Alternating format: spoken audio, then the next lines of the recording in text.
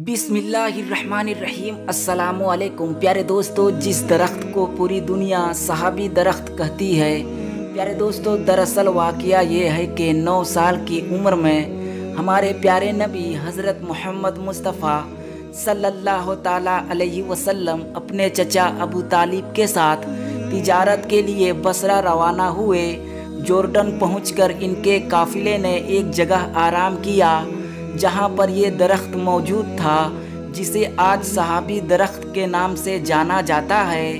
प्यारे दोस्तों, अरब की तेज़ धूप से हमारे प्यारे नबी हज़रत मोहम्मद मुस्तफ़ा सल्लल्लाहु ताला अलैहि वसल्लम को बचाने के लिए इस दरख्त ने अपनी शाखें फैला दी और साया दिया।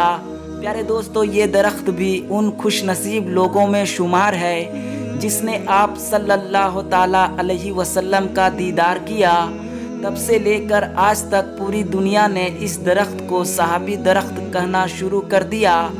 आप सल्लल्लाहु ताला अलैहि वसल्लम की दुआओं के बरकत से ये दरख्त आज भी वैसा ही हरा भरा है।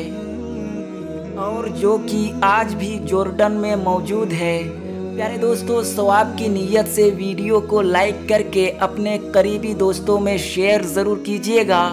और चैनल पर नए हैं तो चैनल को सब्सक्राइब कर लीजिएगा। शुक्रिया।